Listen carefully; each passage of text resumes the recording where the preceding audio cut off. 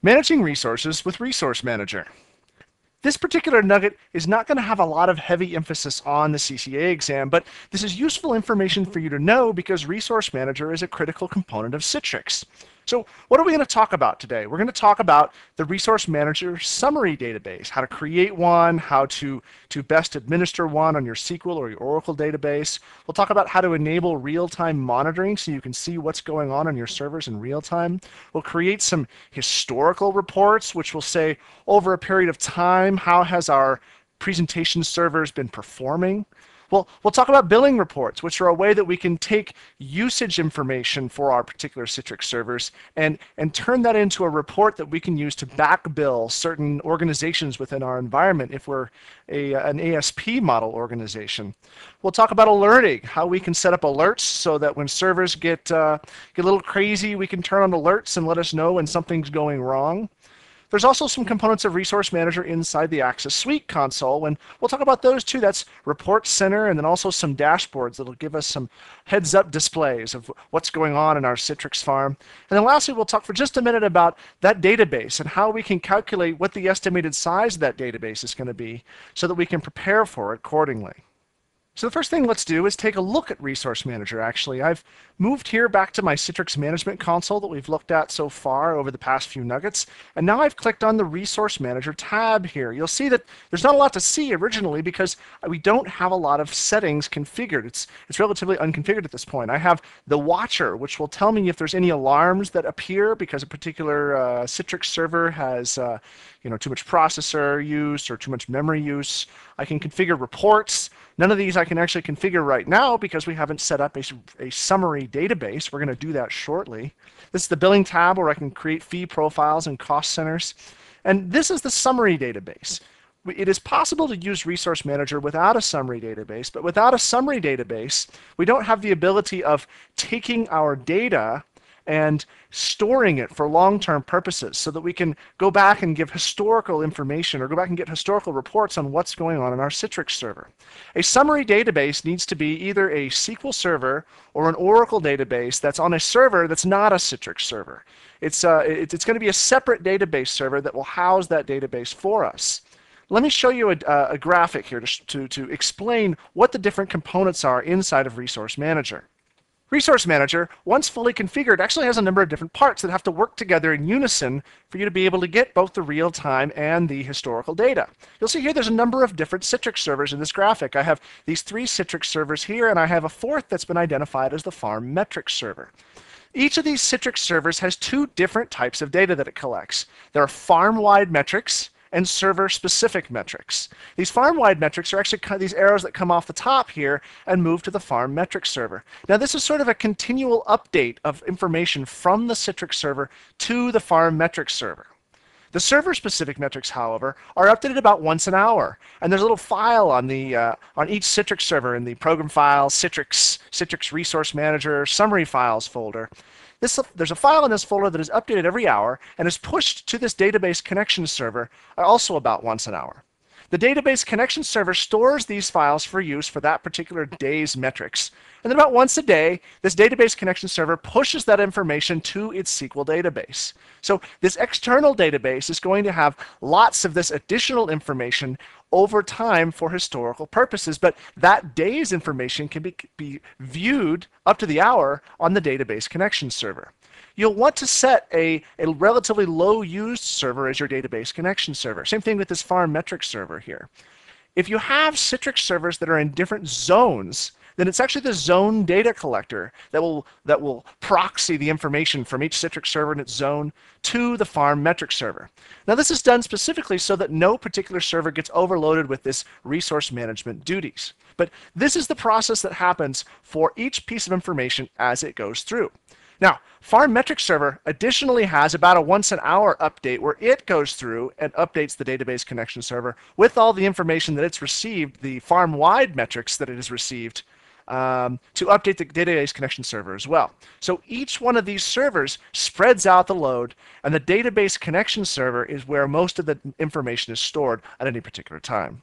Now the first thing we're going to do is actually configure this database connection server. I've already configured a SQL database to be able to accept data from us, but in order to configure this database connection server, we first have to create an ODBC connection so it knows how to get to the SQL database. Now let's minimize this and minimize this, and we're going to go to Start, Programs, Administrative Tools, and ODBC. This is where we'll actually create a system DSN to connect to that database. I click Add, and the type of database connection I want, because this is a SQL Server, is SQL Server. I need to give the name of this database specifically RM Summary Database. This has to be the name of this DSN, or Resource Manager will not be able to use the DSN. Now, for my purposes, I've used the SQL Server DC Nugget. Obviously, you probably don't want to uh, uh, put your SQL Server on your domain controller, but we have limited resources here. So this is the server that is my SQL Server. I click Next. I'm using uh, SQL Server authentication. I'm using the SA password, also not a very good idea in a production sense, but it's good for just so we can show you how you would connect to this database. Similarly, Windows NT authentication is an acceptable alternative. Click Next. We then change the default database to the database that we created. This is this RM summary database that I created on uh, the SQL Server. Click Next again, and leave all the settings here the same and click Finish. We get the option to test the data source, and if the tests complete successfully, then we have a happy connection to our SQL database. So now, going back to our picture, we've configured this connection here. But we have, we're only about half done. We still have another connection to configure before we can actually turn on this database for use. I'm going to go ahead and close down ODBC because this system uh, DSN is now configured and go back into the CMC. Inside the CMC, if I click on the Summary Database tab, you'll see this Configure button here. Let's click on that now. We need to connect, create a connection to the database connection server. We need to identify which server we want to use. If we click here, we can choose one of the two servers that are available. I'm going to choose CTX Nugget 1. And I'm going to use the user, and excuse me, the user SA, and I'm going to use the password. We can click test and we'll see that both the server is up, the database software is okay, we have a DSN, and the database is successful. Now we can actually enable the summary database. It says, warning, you're about to turn on summary database functionality, and that now all the resource manager servers will begin to collect information. This is actually begins the process of data collection.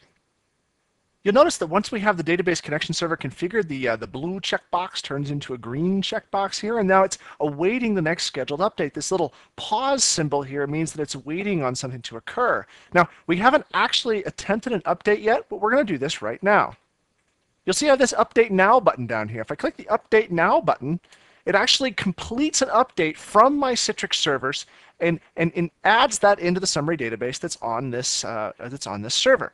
You'll see now that that checkbox there at the bottom that says all updates over the last 24-hour cycle since the last update now have been successful, and I'm again waiting the next scheduled update.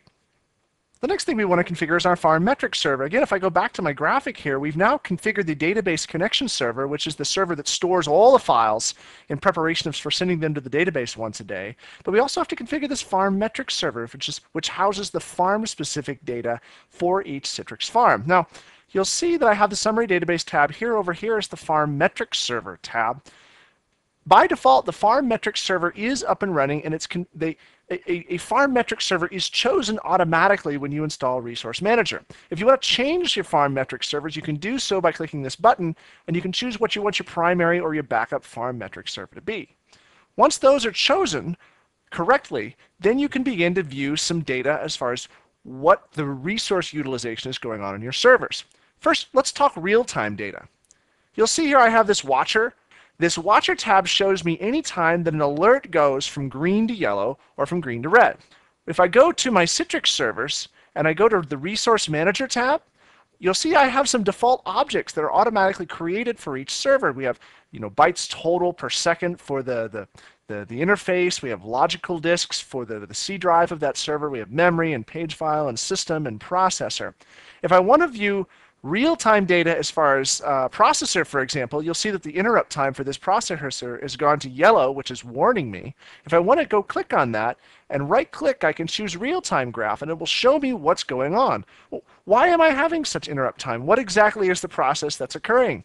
Now you'll see that I have a graph here that goes back uh, a few hours, and now you'll see there's some advance, advancing going on in terms of how much interrupt time is currently being used by that processor. This graph will update from time to time to show additional data. I can use this information to find out when problems are occurring on my system. If for example, that, uh, uh, that, that interrupt time is causing some problems, I will be able to know by looking at that graph that something's wrong or perhaps when that problem occurred. Now, we're looking at real-time data here, so we're just seeing what's available on this individual server.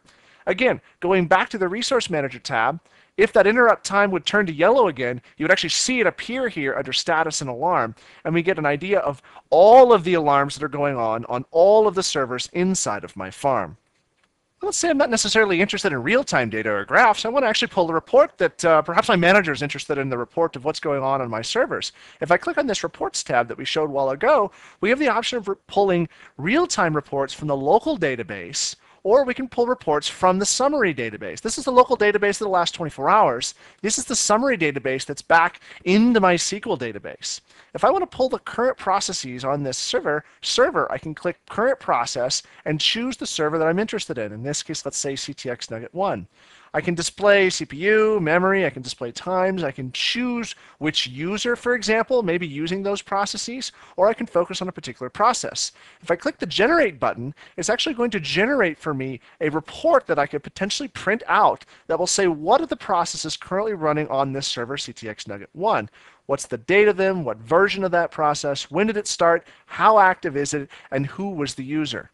I can scroll down and get some CPU and memory utilization information. All of these are the CAN reports created for me by presentations or by a Resource Manager. If I'm not interested in the current processes of what's been going on in the last 24 hours, I can click down here on the, those from the summary database. Let's say I'm interested in process summary over a period of time. This brings up the process summary window, where I can also again choose CTX Nugget 1, but I can say, okay, I'm not just interested in those that have happened recently. I want to say, I want to go over a selected period. Maybe over the last week, I want to see what processes are being used over the last week. Now, why is this handy to you? This is handy because you can see what applications are being used, what, what processes are being used on your server, it can help you to, to better judge when additional servers might need to be brought online, when you need to add additional resources to servers, or when perhaps that you have processes or applications on your servers that are not being used that you may no longer need to make available to your users. Now, if you're an ASP model, if you're providing Citrix services to people and, and back billing them for the use of those Citrix servers, let's take these reports and take them one step further. Let's click on the Billing tab here. This is kind of a neat feature of Resource Manager. We can actually create uh, reports that will say for how long people are using our Citrix resources. We can actually bill them for that. Well, it's done by configuring both fee profiles and cost centers. Let's do this first. Let's configure fee profile.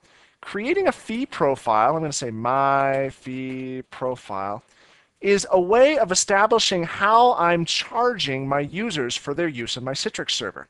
I'm going to say Citrix uh, system settings here for the currency symbol, or I could actually choose a currency symbol if I wanted to. This, the system settings are currently set for the dollar figure. And then I can charge, back charge my users based on the amount of time per hour they spend, or perhaps how much CPU cycles they use, or how much memory they use, or how long, long they're actually using a particular process. Let's say I'm going to charge them four bucks an hour for use of my Citrix server. So I'll choose session time, $4 per hour. This is to say every time that they're actually making use of a Citrix session, they're going to get charged $4 an hour for use of that Citrix session. I click Finish and the fee profile is created. Now, in order to, to associate that fee profile with users, I need to create a new cost center. If I click on Cost Center and click New, you'll see here's a new cost center name. I'll choose the default. And now I can choose which users should be associated with that cost center. Let's say under users, I'm interested in all the domain admins are going to get charged four bucks an hour for my Citrix server because those guys, you know, they just love, they just think they own the world. And so I'm going to charge them every time they try to use my Citrix server.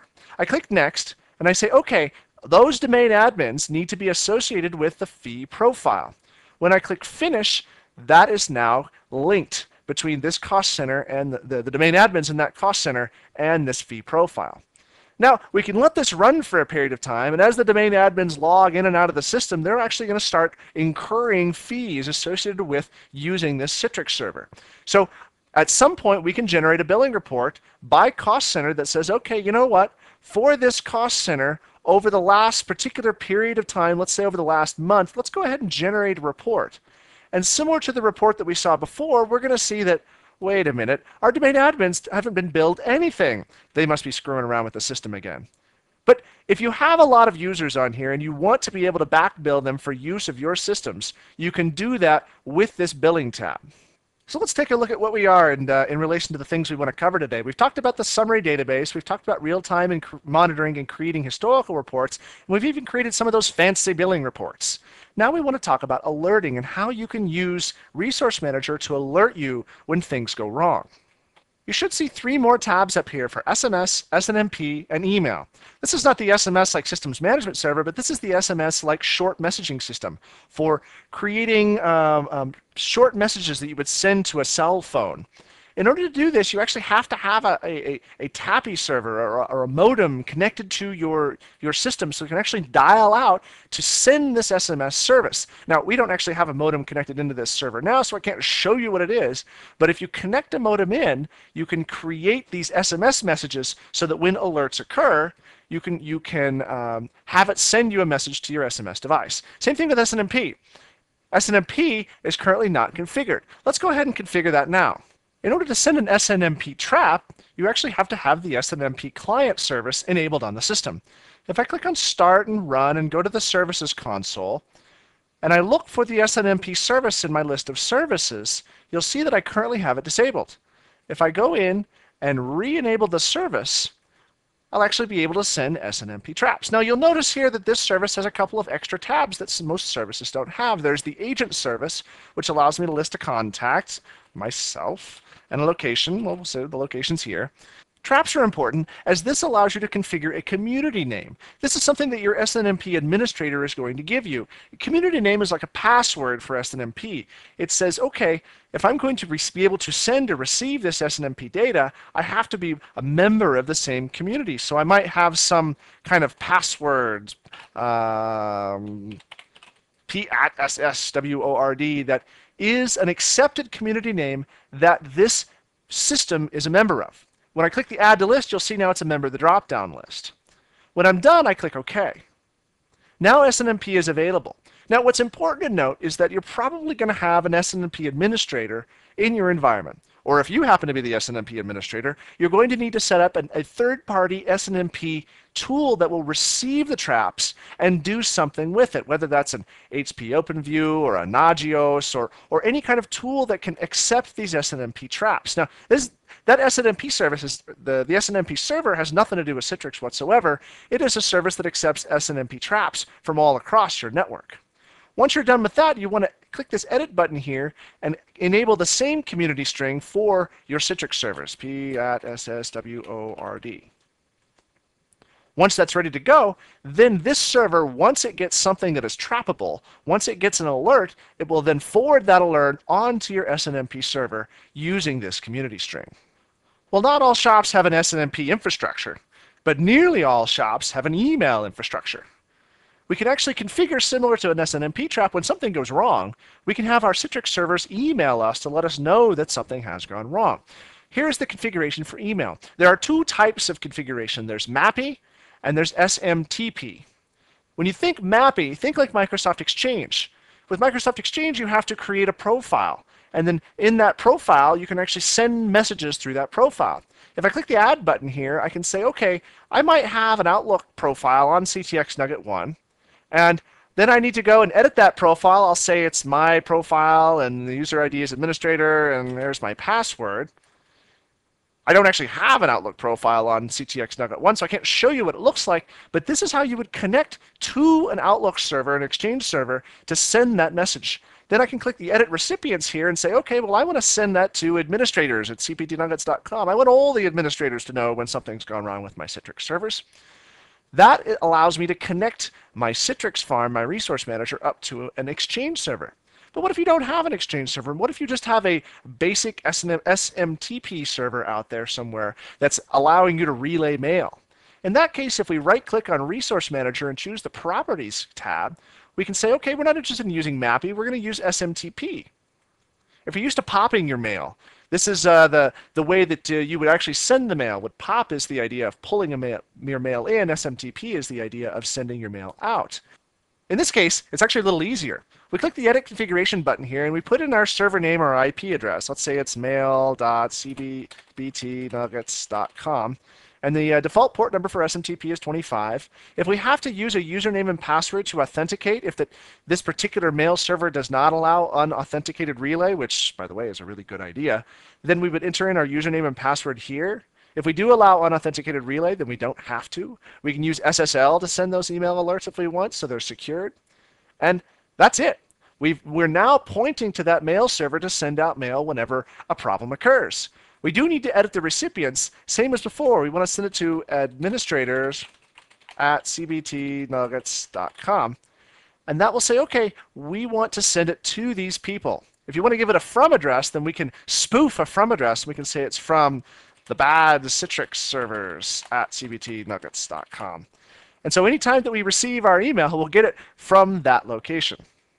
So those are the three ways that we can alert ourselves whenever we have problems with our Citrix servers, either using SMS, using SNMP, or using email. Let me go back to my Citrix server itself here, and we'll go up to the Resource Manager tab.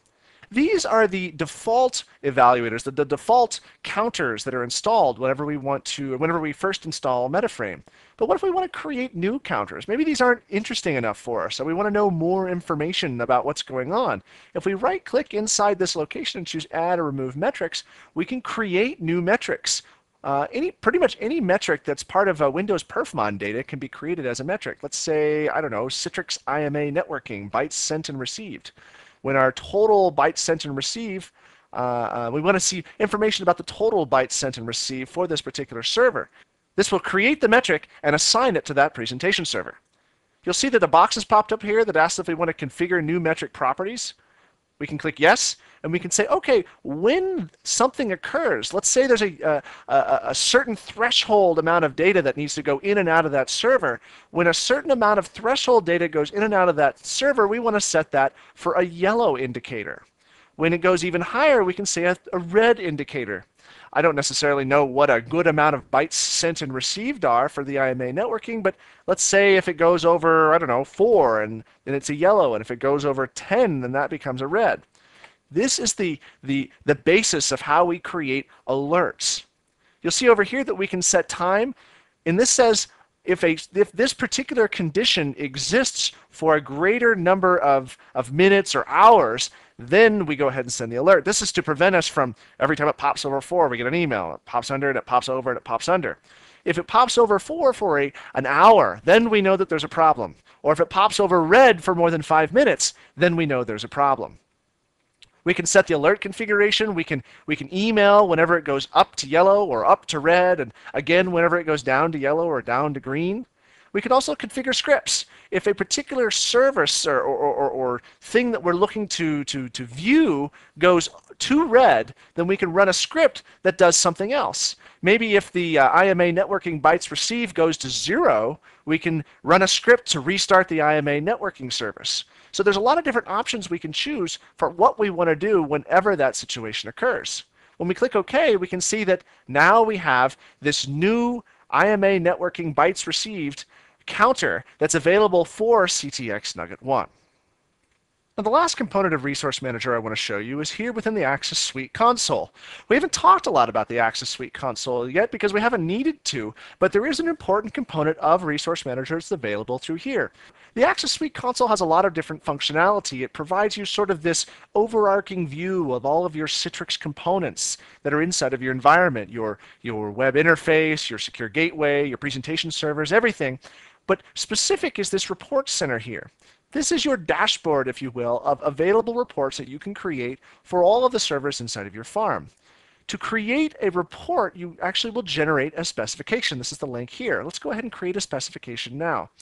A box pops up that allows us to choose the settings for our specification. And it's, it's kind of constrained to see here in this window, but, uh, but bear with me here.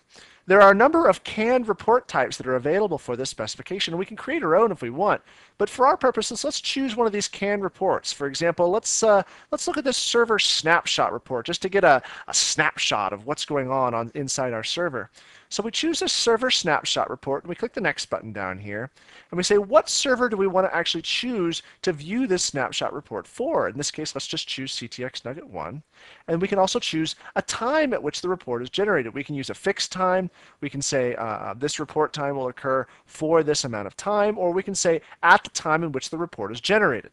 Now if we're going to use this report later it's probably appropriate for us to choose at the, at the time in which the report is generated because we're creating an object that later on we can invoke to generate a different report.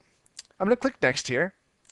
And we can either store the report for later viewing if we want, or we can actually publish the report to a file. Now, this is an interesting part. If we click the Publish Report, we get the option of choosing whether we want an HTML or we want a comma separated values report. I'm going to choose HTML because they're easier to read. And we can copy report to a folder or we can even mail ourselves the report if we want so that at any point in time we can say, okay, we want to get this report in our inbox to know how the health of our Citrix servers is doing. Later on, you'll see we can schedule this report to occur, uh, say, on a weekly basis or a monthly basis or even a daily basis. I'm just going to copy the report to a folder and we're going to overwrite rep that report. I'm going to copy it to the desktop and I'm going to give it a subfolder called our report. You'll see that it's located here.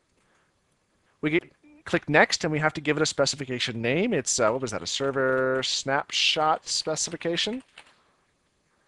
And we click next and we're finished.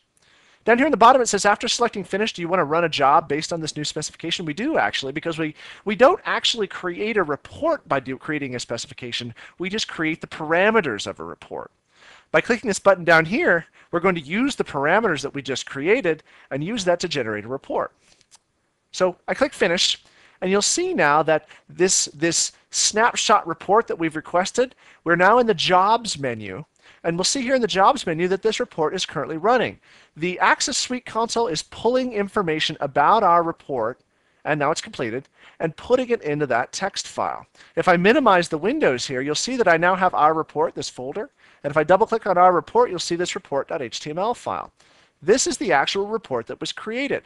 This is the snapshot report. These are the processes using over 5% of the CPU, and there were none. And these are the users and the processes currently on that system. None were recorded. And these are the metrics currently being pulled by that server. This is the report of which I'm interested in. If I close this down and go back to the Access Suite console, we can change our display to look at uh, job. Oh, we're here, already here on jobs, actually we, uh, we can actually create new jobs if we want from here within this location.